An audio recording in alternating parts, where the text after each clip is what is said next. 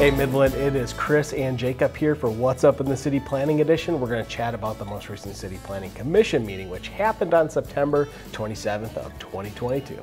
How you doing, Jacob? Great, Chris. How are you? I'm doing great. So let's talk about the one agenda item that I really want to hit, Sure. and that's the City Modern Master Plan. Can you give us the update on that? Sure. Planning Commission's very excited to have the work plan uh, finalized for the remaining phases of the project. We're looking to uh, do continued public engagement, and one of the things we're excited about is our pop-up planning studios. Cool. Where do we uh, find out about the pop-up planning studios? Well, we're going to have all the information about those and other upcoming events at MidlandCityModern.com, but we're going to start that in October, the 19th, downtown with a bar crawl. Following that up in November uh, with a trip to Coffee Chaos on Jefferson Avenue.